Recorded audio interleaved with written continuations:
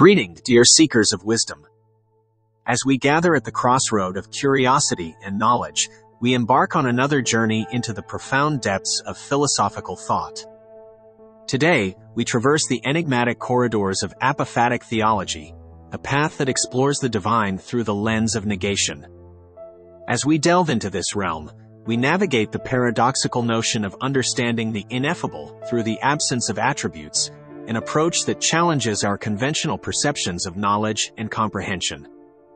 So, let us embark on this quest, a voyage through the opaque waters of negation to the shores of divine understanding. In the heart of this exploration, a compelling question arises. Can we truly know the divine through negation? Is it possible that in acknowledging the unknowable nature of God, we inch closer to comprehending his essence? Apophatic theology, or negative theology, posits an intriguing perspective. It suggests that God, in his infinite essence, transcends all human comprehension and representation. Any attribute we ascribe to God, according to this school of thought, is fundamentally insufficient to encapsulate his boundless nature. Therefore, the closest we can come to understanding the divine is by acknowledging what he is not, rather than asserting what he is. This philosophical approach does not seek to diminish the divine, but rather exalts it to a realm beyond human limitations. It emphasizes the inherent inadequacy of our language and concepts in capturing God's essence, thus leading us to a deeper reverence for the divine mystery. The premise of apophatic theology, therefore, is paradoxical. By embracing the unknowability of God, we find ourselves on a path that brings us closer to the divine reality. However, this pathway of negation is not free of challenges. It defies our instinctual quest for affirmation and certainty, urging us to explore the divine through the prism of uncertainty and mystery. Yet, it is within this paradox that apophatic theology finds its profound beauty and transformative power. The influence of apophatic theology can be traced back to notable figures such as Pseudo-Dionysius the Areopagite and Meister Eckhart. Pseudo-Dionysius advocated for a mystical approach to God, emphasizing that the divine is beyond all human knowledge and can be best approached through negation. Similarly, Meister Eckhart, a Christian mystic, echoed the same sentiment, asserting that God is beyond all concepts and categories that the human mind can conceive. This philosophical stance is not confined to Christianity alone. The Islamic philosopher and mystic Ibn Arabi, for instance, proposed similar ideas. He suggested that God's essence is unknowable, and that any attempt to capture it in human language would only limit it.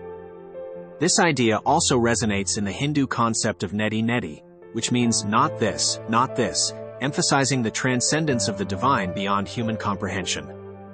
Cultural expressions have often mirrored the essence of apophatic theology.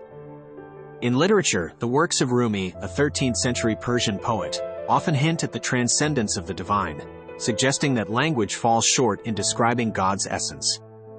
Similarly, in film, movies like The Tree of Life subtly explore the notion of an ineffable God, evoking the profound mystery of the divine. Contemporary discussions around apophatic theology continue to challenge and expand our understanding of the divine. Some argue that this approach risks leading to a form of agnosticism, while others argue that it cultivates a deeper reverence for the divine mystery. These debates invite us to critically examine our own perceptions of God and encourage an open exploration of the divine.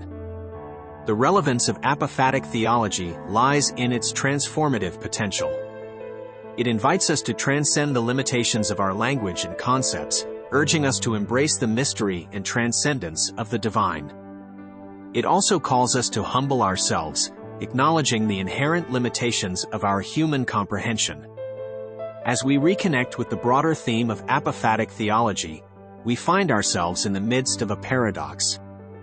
The journey of knowing God through negation is a dance with the divine mystery, a dance that brings us closer to God even as it emphasizes His ineffability.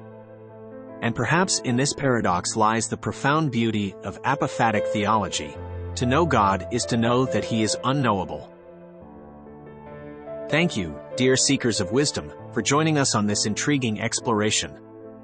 Your engagement and intellectual participation are greatly appreciated.